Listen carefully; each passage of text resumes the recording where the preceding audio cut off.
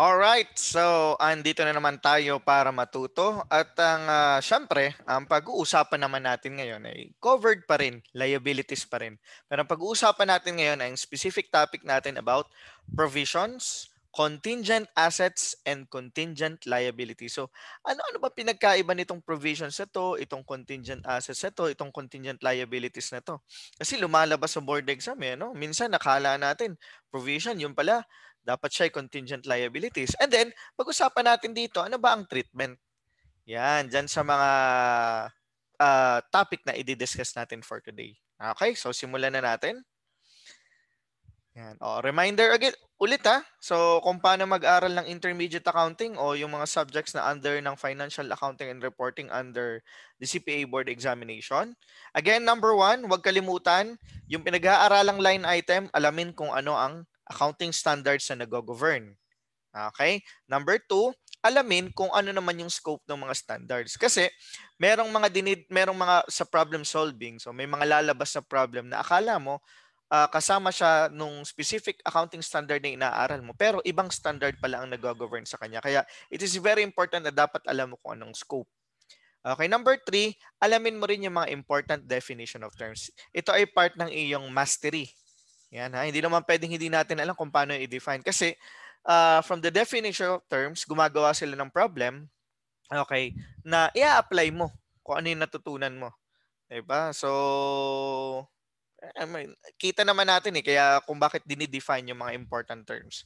And then number four, alamin kung paano i-recognize. So, pag sinabi natin i-recognize, kailan i-record? Kailan na-appear sa financial statements? So, dalawa yan. Initial recognition, at saka subsequent. Okay? And the number five, how to measure. Uh, ano ang measurement? Ganon din. Initial and subsequent. And then six, alamin ang mga important journal entries na related dun sa transaction na pinag-uusapan natin. And then number seven, how to present. Yan by asset, liability, equity, revenue, expense, or income and expense, or ano siya, current asset, current liability, non-current uh, assets, and current liabilities. Ah, okay. And then number eight, isa sa mga importante, the disclosure to the notes of the financial statement. So dapat alam natin kung ano yung mga dinidisclose. Kasi uh, tinatanong sa board exam kung ano yung mga important disclosure. And very important din pagdating sa practice, no? Uh, itong mga disclosure requirements na ito. So wag mong kakalimutan again itong tip natin na to, yung walo, in studying financial accounting and reporting subject. Okay? So ayan ano ba ang applicable standards dito sa pag-aaralan natin ngayon? Siyempre, susundan natin yung ating uh, pattern ng pagre-review. No? Siyempre, ang ating standard na nag-govern dito ay PAS 37. Ang title niya, Provisions, Contingent Assets, and Contingent Liabilities. At sa session na to, hihimay-himay natin or uh, i-differentiate natin ano bang pinagkaiba ni provision kay contingent liability, ano ba si contingent assets. So yan yung mga uh, pag-uusapan natin dito. And of course, ito na rin yung scope. Okay? By defining these um, items, malalaman na natin kung ano ang scope nung ating uh, standard. Okay, pero nasa title na rin siya ano. Yeah. Excuse me. Okay, so important definition of terms. So para mas maintindihan, tayo ay mag a-annotate. No? May mga magdo-drawing-drawing tayo dito. Okay, so sabi dito, yun daw sinasabing provision, okay, is a liability. Okay, liability rin siya under the uh, topic ng liability pa rin itong provision. Okay, yun nga lang, ito daw ay may uncertain timing, okay, or amount. Yan. Uncertain timing kasi hindi natin alam kung kailan mag-occur. Okay, that's why we we just provide. Okay, we just provide kaya ang provision, we just provide uh, we just estimate the amount of provision o yung liability natin dito. Okay, kasi uncertain ang timing and uncertain din yung or uncertain din yung amount. Ayan. So provisions provisions differ from other liabilities because of the yung tinatawag na uncertainty. So yun yung nagsa-separate sa kanya from the other classifications of uh, liabilities. Yung uncertainty niya. Sabi nga, uncertainty either sa timing, kung kailan ba mangyayari, or si, sa amount. Okay? About the timing or amount of expenditure required in settlement. Yan. At uh, karamihan ng mga na-encounter natin ditong problem sa provision eh yung mga nagkakaroon ng lawsuit o yung sampahan ng kaso o kaya yung mga dispute sa BIR. Yan ang mga karamihang nagiging example dito sa provision. Uh, okay, nagsampahan ng kaso, yung empleyado sinampahan ng kaso halimbawa si si company. So ikaw si company. So magkano ipo, ano ba magpo-provide ba tayo ng meron ba tayong provision dito about the damages and something like that. Yung mga ganon. Okay, kaya sabi uh, required settlement. Yan. Okay? And then unlike other liabilities, provisions must be estimated. Kasi yung ibang mga liabilities sa pinag-aralan natin last time, katulad halimbawa ng financial liabilities, 'di ba? Uh, siya ay measured at fair value. Hmm, o kaya fair value minus transaction cost. Depende kung anong classification.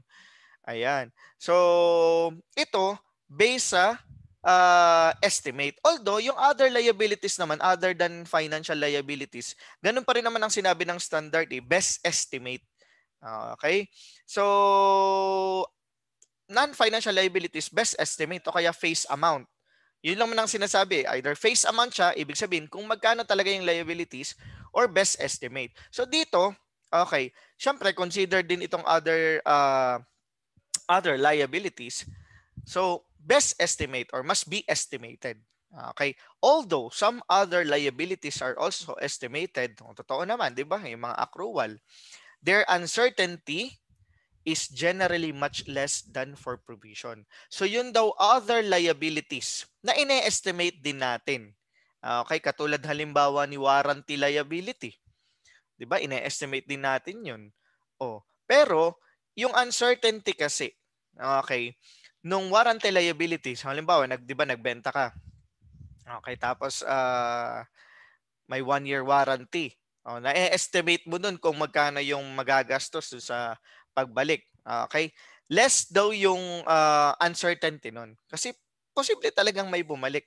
Ito kasi katulad halimbawa, sampahan ng kaso, yung pag-claim ng mga damages, di ba? Uh, it is more uncertain than dun sa mga warranty na gano'n. Kasi tsaka mas mabigat ang pinag-uusapan natin dito pagdating sa provision. That is why, okay, may separate line item siya sa financial statements. Hindi siya nakasama okay, sa trade and other payables. Nilalagay ng separate uh, line item, meaning may separate title na provision. Uh, okay, kaya nga sabi dito, other liabilities such as accrual, okay, are reported as part of trade and other payables. So ibig sabihin, pre- trade and non-trade, pinagsasama-sama doon sa title ng trade and other payables. Ngayon, ito, provisions are reported separately. Yan. Kasi may bigat ang pinag-uusapan natin kapag provision. Dahil nga, ang karaniwan na nai-encounter natin kapag nagpo-provide ng provision or provisions, 'di ba? Ay ano, mga sampahan ng kaso.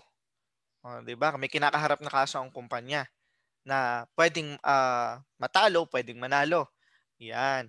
Kaya uh, may separate line item. Kaya nga naman kung ikaw halimbawa ang titingin ng financial statements at nakatago lang ito sa trade and other payables, medyo hindi mo makikita eh. Kasi parang ang ginawa immaterial siya eh, hindi importante kasi inaggregate sa trade and other payables. Eh sampahan ng kaso ang pinag-uusapan dito, 'di ba? May damages na halimbawa babayaran o kaya meron kang dispute sa BIR, yung mga deficiency sa tax na kailangan mong isettle, kailangan mong bayaran o yung mga ganun. Kailangan makita talaga yon Kaya hiniwalay yung provisions.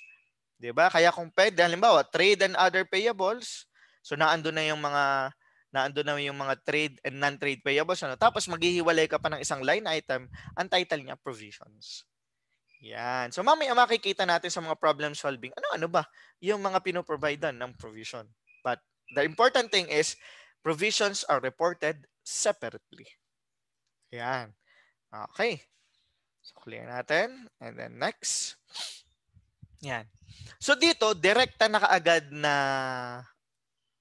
dinifferentiate. Okay. Ano ba pinagkaiba ng provision at saka ano yung contingent liability? Okay. Kasi basically, pag sinabi mong provision, liability siya na nire-recognize na. Ibig sabihin, uma-appear siya sa uh, financial statements particularly sa balance sheet, at nire-record mo siya, may debit credit in short. Okay? Pag sinabi mong contingent liability, Okay, yung yung bottom line explanation nito. Ito kasi contingent eh. Un- uncertain din. Okay, uncertain din. Pero okay, mas uh, hindi siya probable eh. Hindi siya probable na ma-record. Okay, yung uncertainty talaga napakataas. Yan, yan yung pinagkaiba ni provision at saka ni contingent liability. So mag-annotate tayo para ma-explain yung pinagkaiba ng dalawa.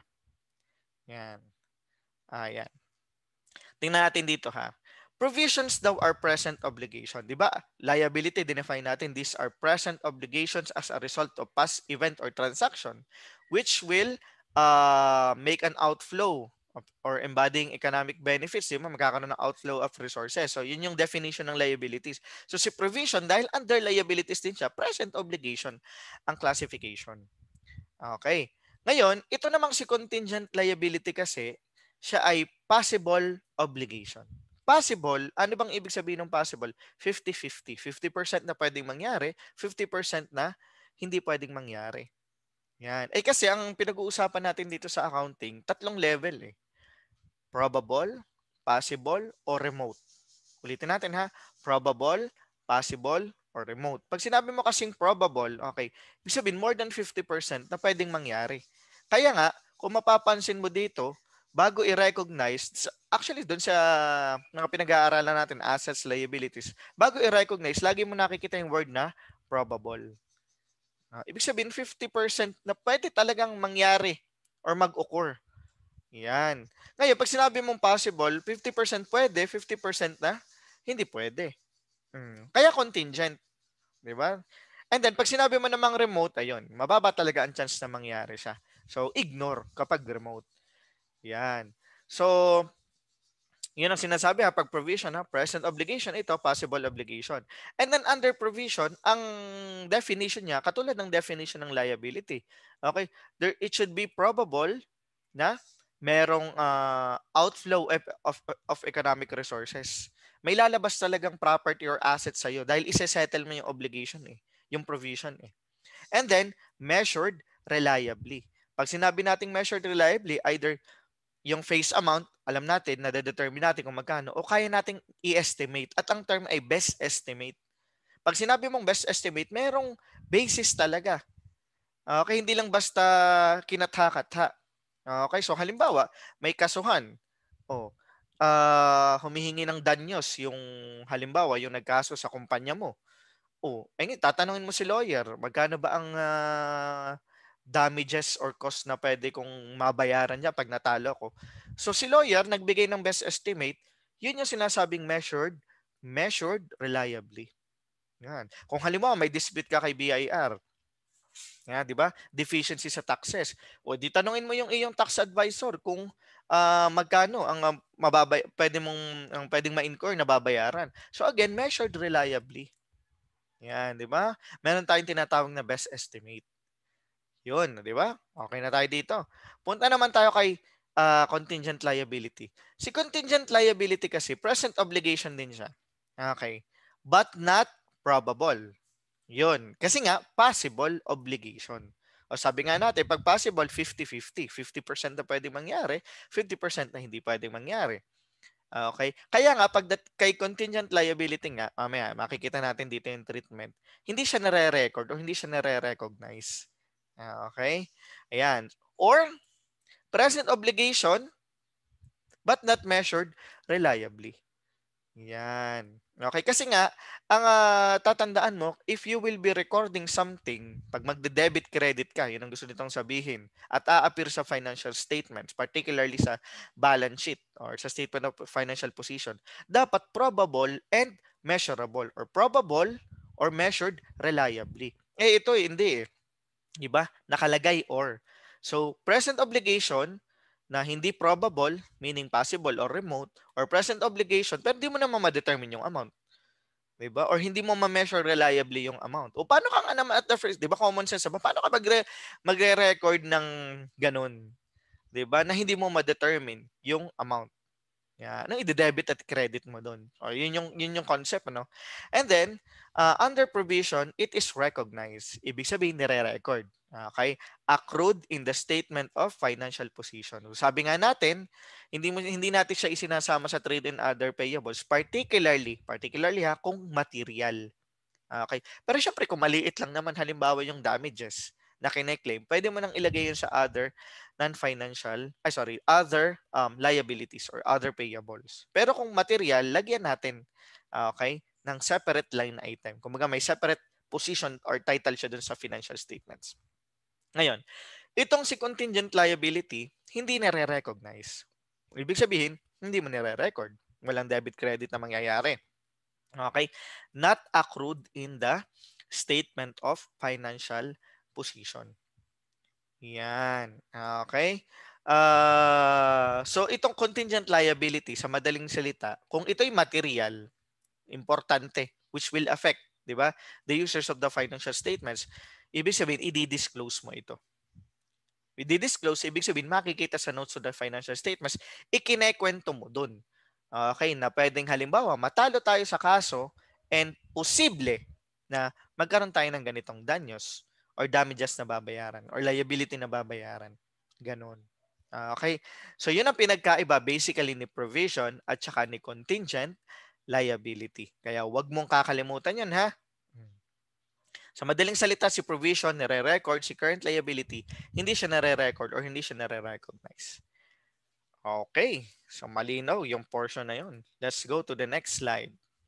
Oh, di na, na-define na natin yung mga important definition of terms.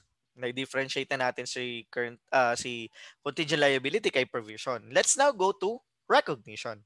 Okay, eh halos dinefine na natin based dun sa ginawang sample, eh, di ba? So diniscuss natin kanina. So, sabi dito, when to recognize provision. Kailan daw ba? Okay. A provision is recognized when, again, nakalagay, all the following conditions are met. So, dapat daw, yung lahat ng yan, uh, okay, ay mamit niya. Okay. Number one, the entity has a present obligation, either legal or constructive, as a result of past event. In short, kung ano yung definition ng liability, dapat mag-fit siya doon. Diba? Anong definition ng liability natin? Should be a present obligation as a result of past event or transaction uh, which embodies outflow of economic resources. Uh, yun yun. So ito yung, number one, that's the definition of liability.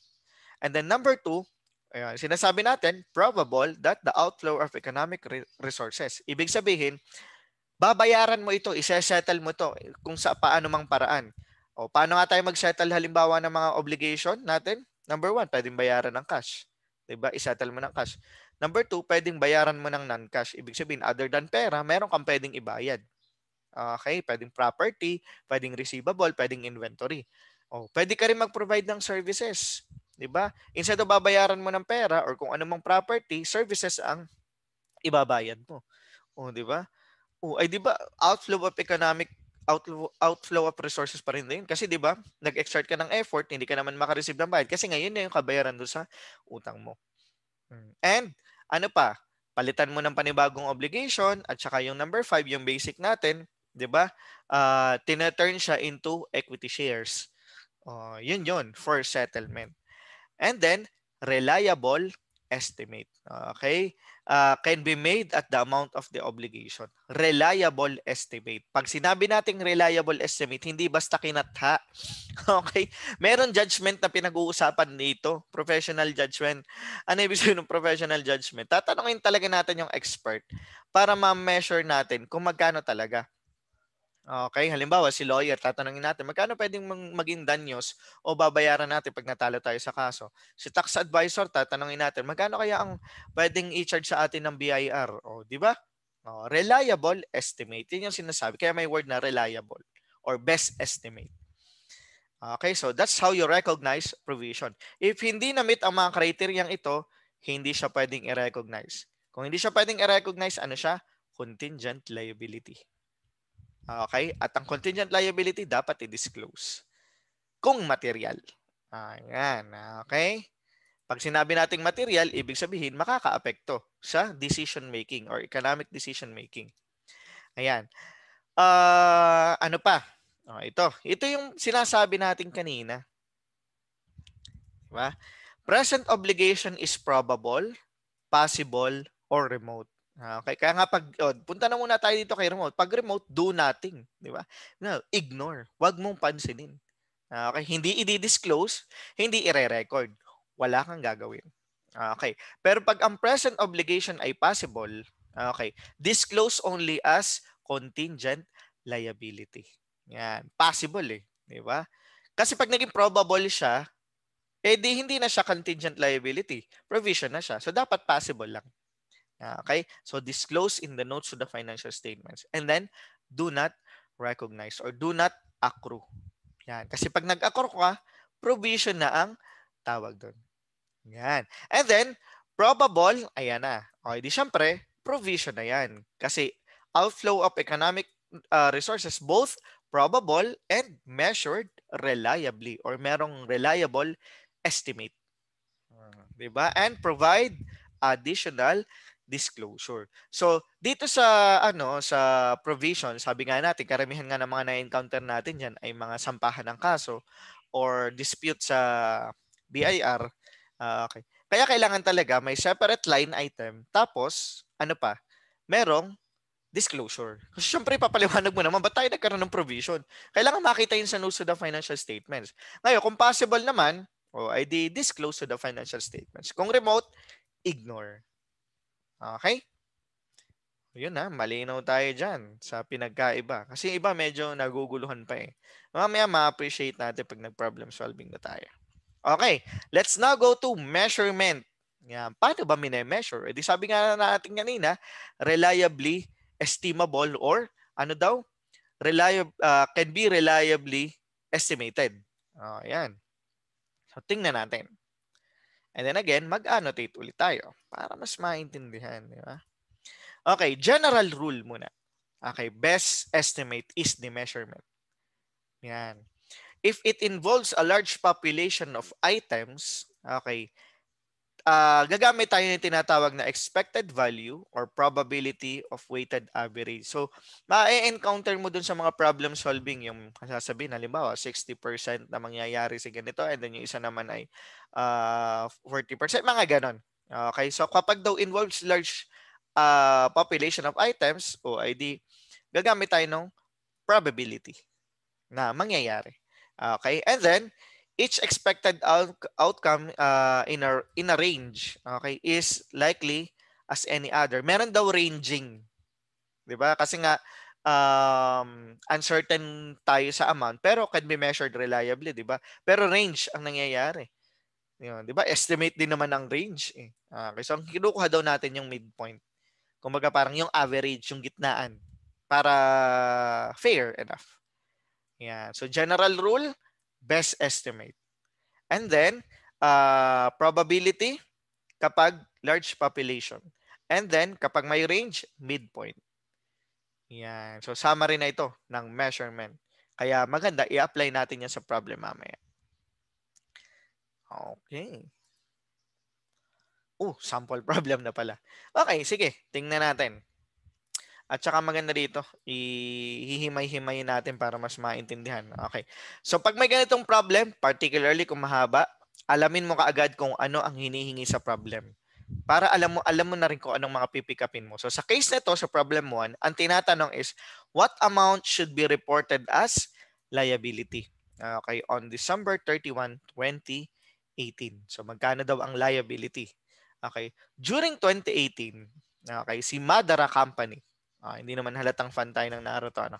Si Madara Company ay nag-guarantee, okay, guaranteed a suppliers 500,000 loan from a bank.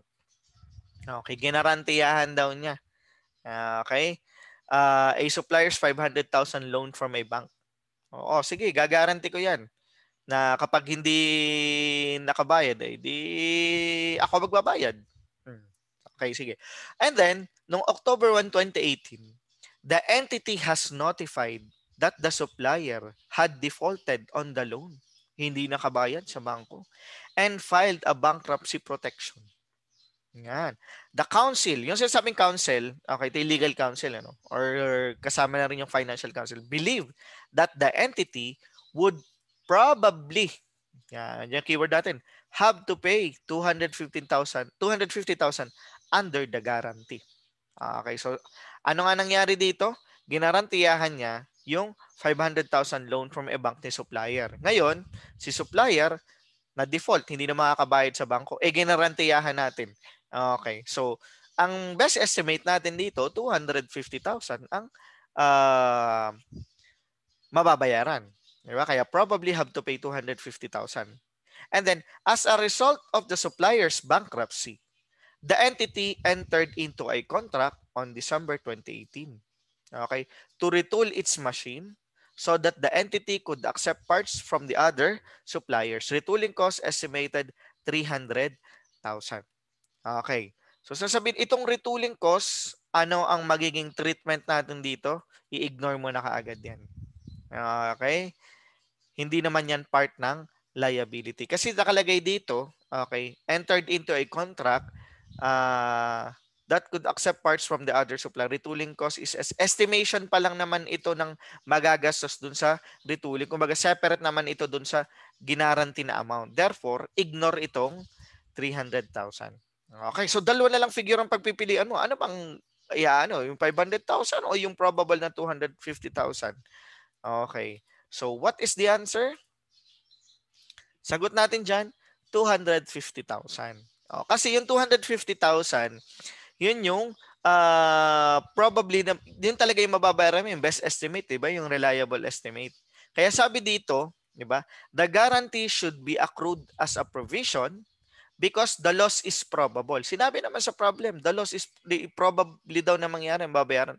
And the amount can be reasonably estimated which is 250,000 yung isesettle. Kahit na sinabi doon na ang uh, ginarantiyahan ay yung 500,000.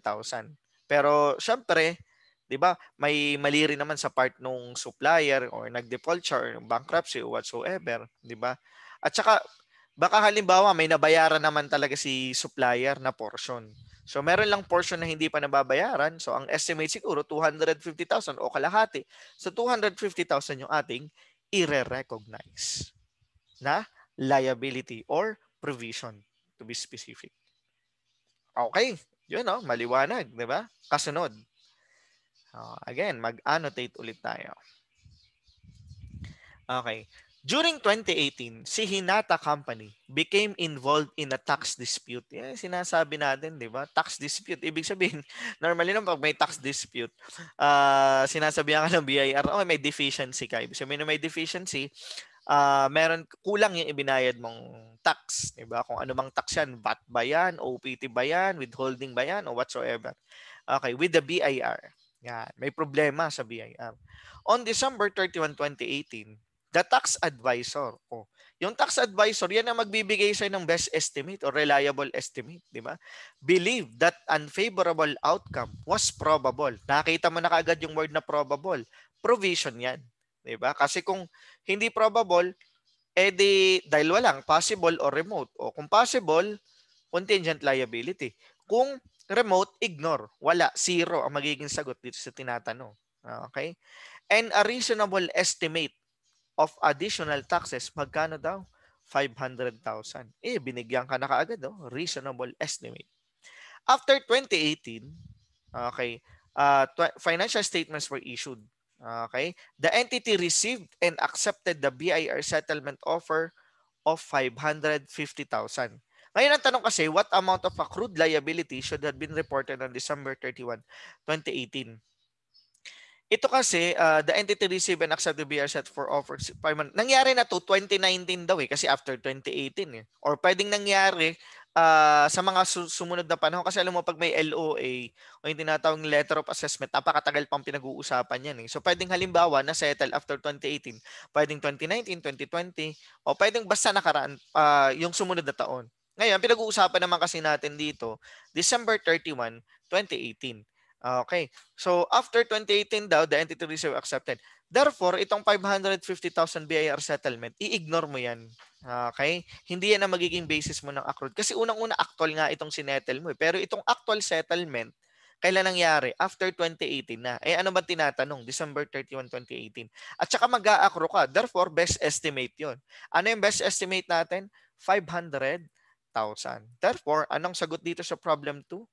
The reasonable estimate is 500,000. Uh, okay, at saka sinabi din dito, the accepted BIR offer is not recorded because it was made after the statement were issued. Yan. Kung whatever amount it is, hindi mo yun i-record dahil yun ay sa kasunod na accounting period na. And then in 2019, okay, when the BIR settlements offer 550,000 is accepted, additional liability of 50,000 will be recognized. Kasi 'di ba nag-record na tayo nung una ng provision. 'Di ba?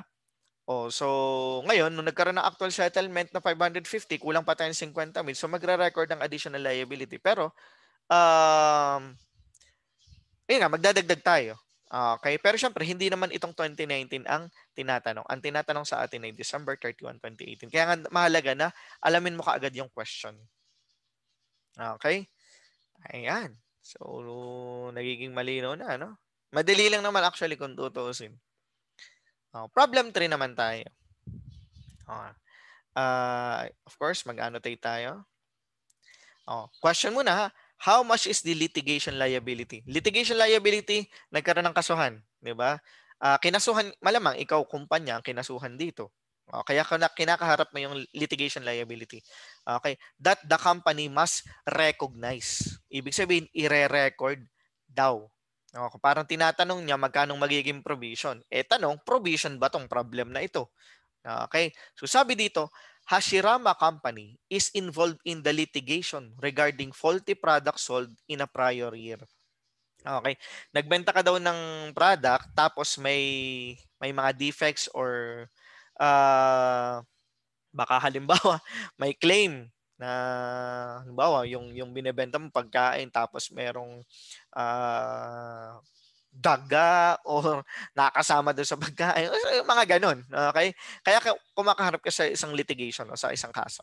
Okay. May, may, may case na, may legal case. Ayan. Regarding faulty products sold in a prior year. Mga nakaraan taon. Okay. The entity has consulted with an attorney. Ayan, di ba? Ito yung magiging ano ng reliable estimate eh. And determine that it is, oops, nakita natin, possible Okay, therefore, hindi na agad siya mag-fit sa definition ng provision, which is dapat daw under provision, dapat siya probable. So dahil possible, malamang alam mo na contingent liability ito. Okay, at kung contingent liability yan, ang tinatanong naman kasi dito, ano sabi? Mas recognize. Eh di ba ang contingent liability, hindi naman nire-recognize. Oh, dinidisclose. Ayan. That the entity may lose the case. So possible lang na matalo tayo. Hmm. And then the attorney estimated that there is a 40% chance of losing. Eh, yung matalo pa lang 40%, eh, di ang baba na. 'Di ba? Dapat more than 50%. Okay? If it uh, if this is the case, the attorney estimated the amount and uh, of any payment would be 5 million. Okay. Uh, sinabi dito, may best estimate siya. 'Di ba? Sabi nga dun sa definition ng contingent liability, eh, pwede siyang present obligation na hin- na-estimate mo naman yung amount pero hindi yung timing. Uh, okay? Oh, so pag ganun, contingent liability ang datingan nito. Nakita mo naman yung mga keywords eh. Kaya nga iniread natin para mas madali. At saka yung 40% chance of losing eh. Eh dapat malaki chance matalo natin para para may pro- may provision tayong ilalagay, may re-recognize. Therefore, okay, given yung mga keywords natin diyan, the answer is none or wala tayong i-recognize na provision. Anong sabi dito? Okay, mag-annotate tayo. Ano sabi dito? The possible loss is only disclosed.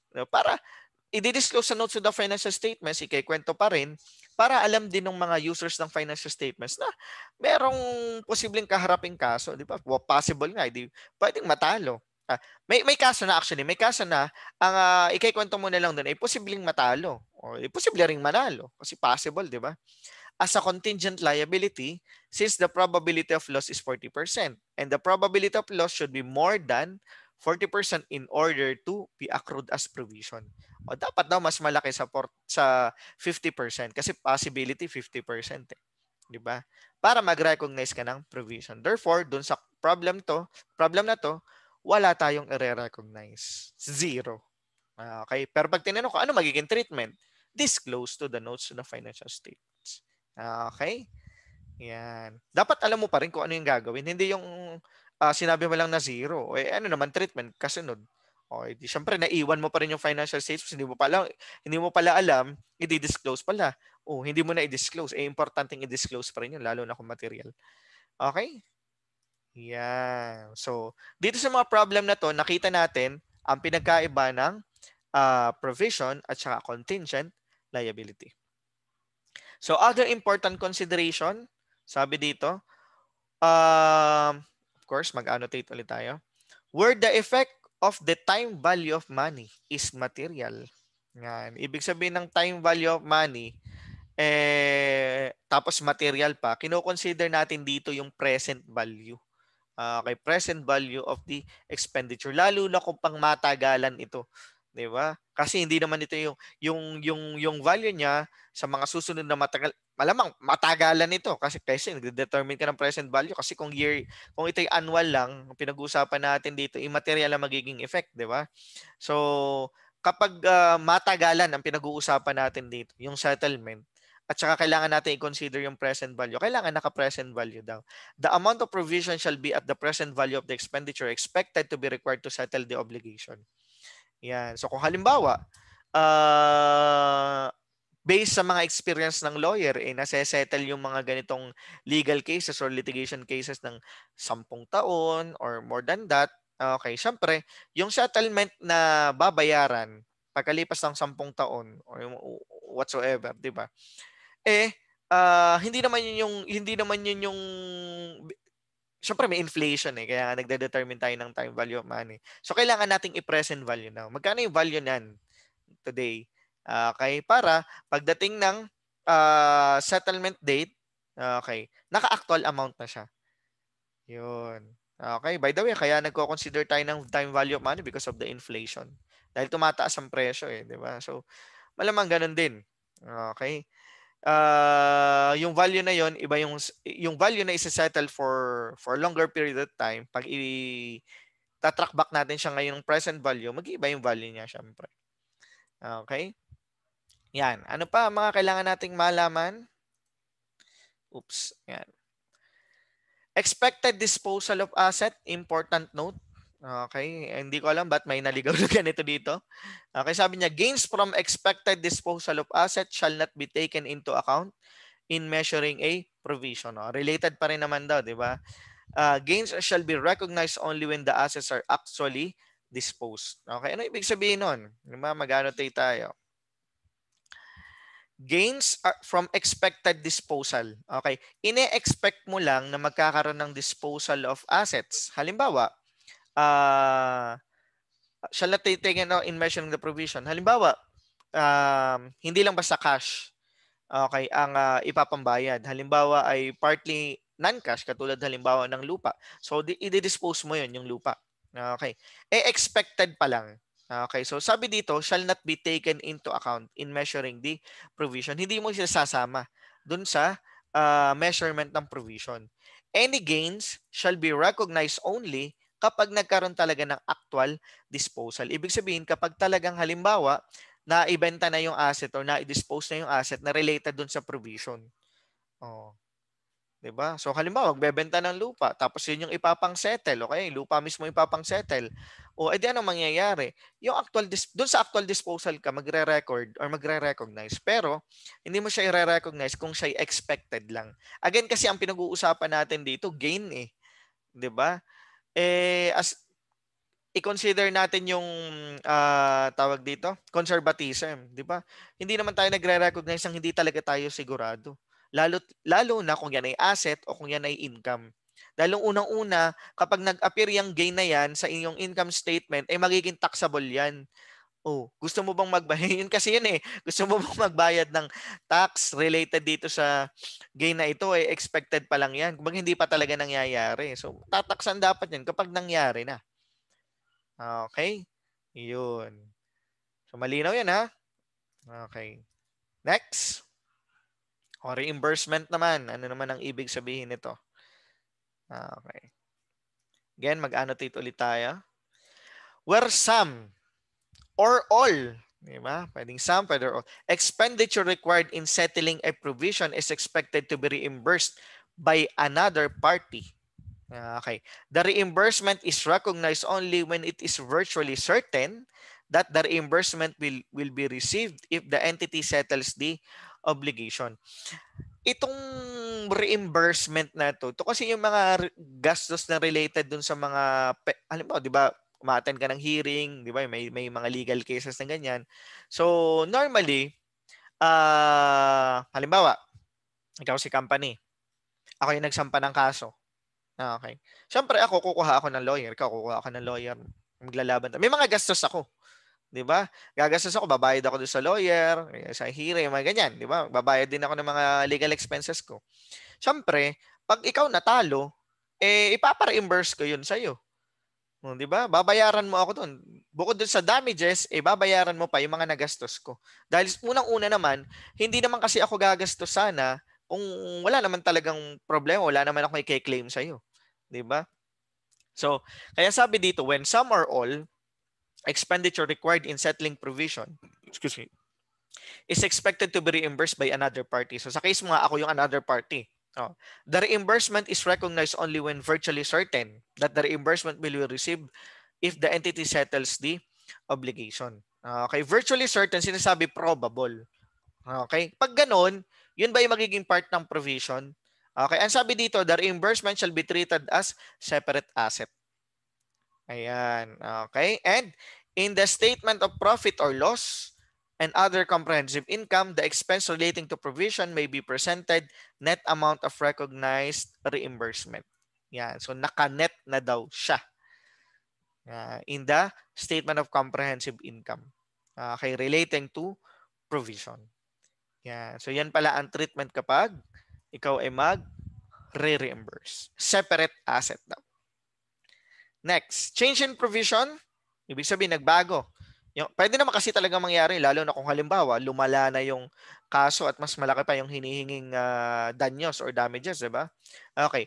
Provision shall be, shall be ha, reviewed at the end of each reporting period.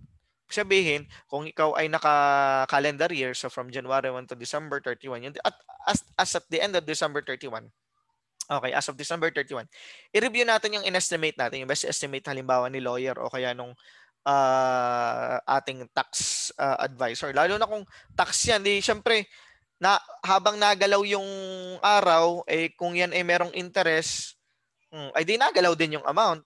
Hmm. Kaya ang treatment adjusted to reflect the current best estimate. O, ibig sabihin, magpo-provide ka lang ng another provision kung madadagdagan. Okay?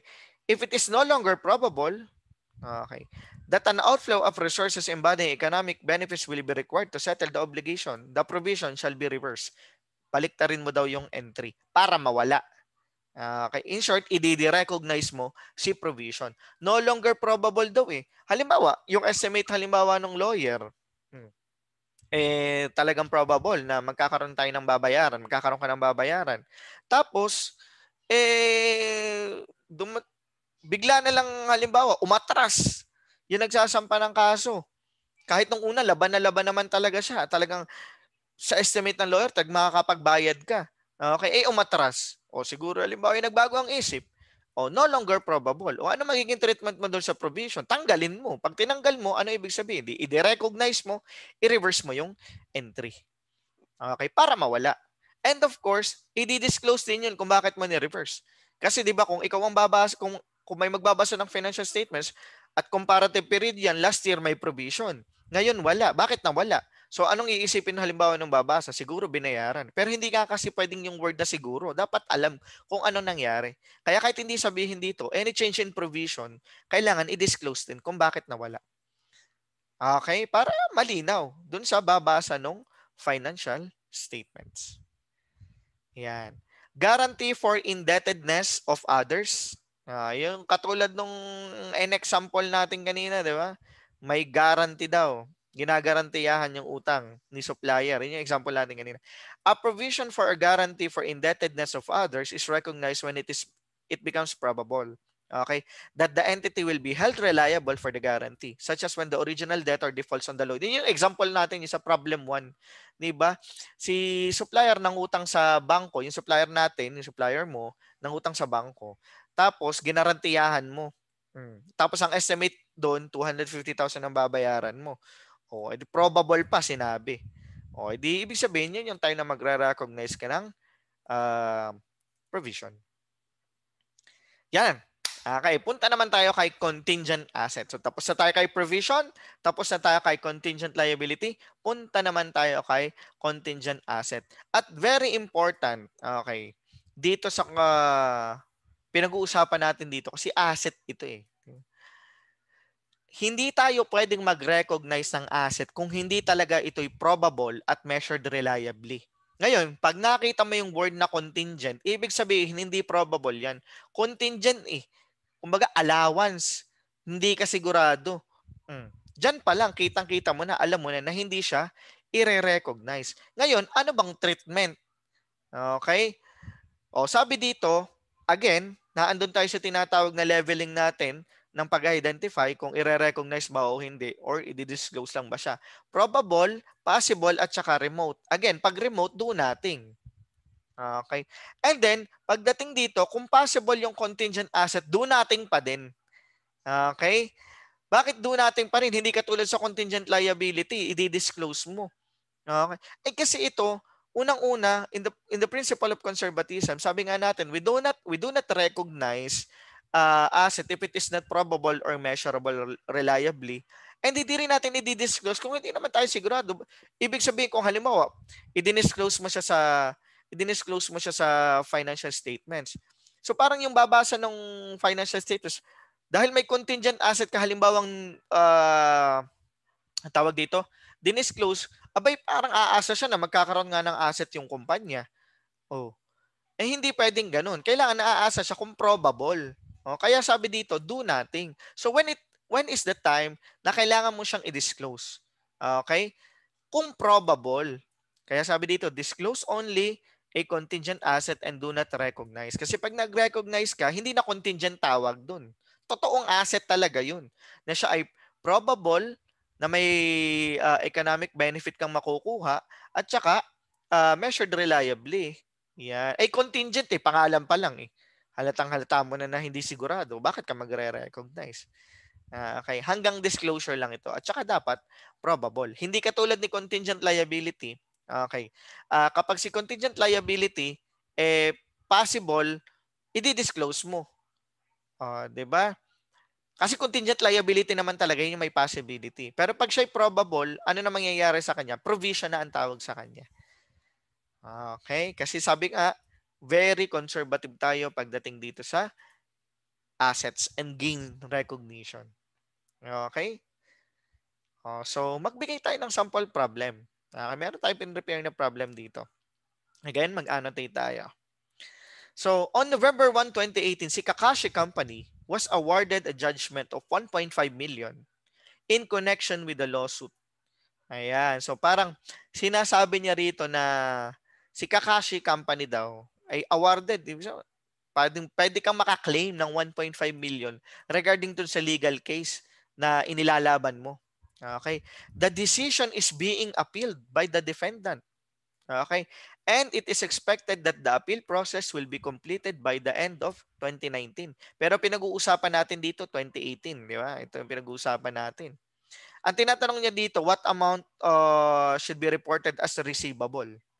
Ayan, what amount should be reported? Eh, receivable, asset na ito. Ibig sabihin, dapat probable na meron ka talagang ano, may makukuha ka talaga economic benefits and measured reliably. Oh, sabi dito, uh, the attorney believe that it is highly probable okay, that an award will be upheld on appeal but the judgment may be reduced by 40%. Ayan, di ba? Kitang-kita mo na kaagad. Hmm. Ano ang magiging treatment natin? Okay, what amount should be reported as receivable? O, tingnan natin kung anong magiging treatment. Oops. Sumin. ah, wait, wait, wait. Nawala yung ating uh, ano tayo? Clear all drawings muna. Yan. So, ano magiging treatment? The contingent asset is disclosed only. Okay, when probable and measurable. Yan. Tapos the asset and related gain are recognized only when realized. Yan. Ibig sabihin, ire-record mo lang yung asset saka yung related gain kapag talagang sure na na makakatanggap ka na talaga ng 1.5 million based dun sa estimate. Yan, di ba? So, kung wala pa, contingent lang yon At kung contingent yon at probable, disclose to the notes to the financial statements. Okay? Ayan. Oh, problem 2. I guess parang last ano na to ng discussion natin. Oh, di ba? At least nabigyan natin ng uh, linaw yung uh, difference ng provision, contingent liability, tapos ano naman ang treatment sa mga yan sa contingent asset. Okay. On May 2018, si Obito, si Obito Company filed a suit against Daidara Company. Okay, nagsampa daw ng kaso seeking 1.9 million damages for patent infringement. Okay, ipaliwanag muna natin itong patent infringement. Unang-una, ang patent ay ibinibigay or oh, ibinibigay para sa mga inventor or pag naka-in, naka-imbento ang isang tao o ang isang kumpanya. 'Di ba? Kung halimbawa, si Obito Company ay naka-imbento ng computer software. So, nasa kanila yung patent. Katunayan na sila talaga naka-imbento noon. Ngayon, pag sinasabi mong patent infringement, ang nangyari, halimbawa yung computer software na yun, eh, ibinenta halimbawa ni Daidara Company without the license from Obito. Okay, hindi nagpaalam. Basta ginaya yung yung yung software, pati yung pangalan ng software. Okay? At saka normally itong patent infringement nangyayari ito kapag yung patent halimbawa nasa isang certain jurisdiction. Halimbawa, uh, sa Pilipinas pinapatent. So kapag nagbebenta si Daidara Company sa sa Pilipinas without the license from Obito or permission from Obito, okay, pwede niya talagang sampahan ng patent infringement.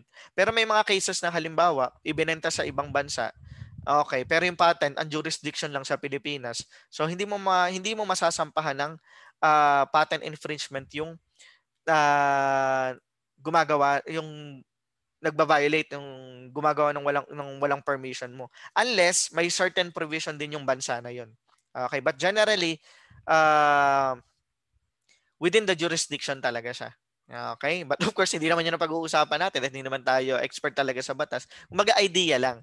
Yon. So si Obito, sinampahan niya ng kaso si Daidara at nagsisik siya ng 1.9 damages kasi nga, limbawa, gin- ginamit yung uh, product or ibinenta without the permission of Obito, 'di ba? A court verdict on November 2018 awarded to Obito 1.5 million in damages, but Daidara's appeal is not expected to be decided before 2019. Eh pinag-uusapan natin dito December 31, 2018. Okay?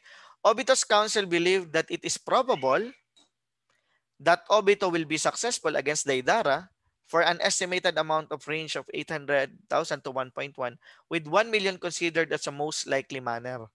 Okay. So, ang tinatanong is what amount should Obito record as income from the lawsuit? Di ba? Magkano daw ang ire-record niya na income dun sa sa legal cases na to? Okay? Again, ano ang mag pag sinabing i-record, i-record mo talaga siya as uh, as income, 'di ba? Debit um debit receivable, credit income ang mangyayari dito. So ano ba ang magiging treatment? Sabi dito, zero or none. Okay, again, bakit na naman zero or none? A contingent asset and related contingent gain okay, are disclosed only where the inflow of economic benefits is probable. Okay? Uh, sabi dito, probable. Kasi kung nakita mo doon possible, ignore na kaagad. Okay? Pero zero pa din ang sagot. Uh, kasi tinatanong dito, magkano ang income na tatanggapin? Answer zero. Wala tayong i-record na ganun. Okay. Ang kasunod na tanong, anong magiging treatment sa kanya? Ay dahil probable, i-disclose mo sa notes of the financial statements. O ngayon, kung sinabi ng possible, anong gagawin? Wala, ignore. Wala, hindi siya a-appear. Yun, yun ang sagot. Kung possible. Okay, lalo na kung remote. Okay. So again, uh, uy, end of discussion, di ba? And of course, i-acknowledge muna natin yung pinagkuhaan natin ng resource material. Okay, si Susmilian and saka si uh, Sir Balix. Okay, uh, again, natutunan natin dito sa discussion na to anong pinagkaiba ni provision at saka ni contingent liability. And then, pagdating sa contingent asset, wag mong kakalimutan uh, yung ating principle about conservatism. Kung siya'y probable, Okay, hindi tayo magre-recognize, kundi i-disclose lang natin. Yan. Kasi kailangan malaman talaga yun ng mga babasa ng financial statements. Okay. So ayan, tapos na tayo. And uh, thank you very much and hope you learned something. Uh, continue lang sa panonood ng ating mga video lectures para uh, updated tayo. Up, uh, upload natin to sa YouTube. So subscribe, share, like, and then of course hit the bell button para 'di ba? Updated tayo sa mga uh, lectures. Thank you very much and have a good day.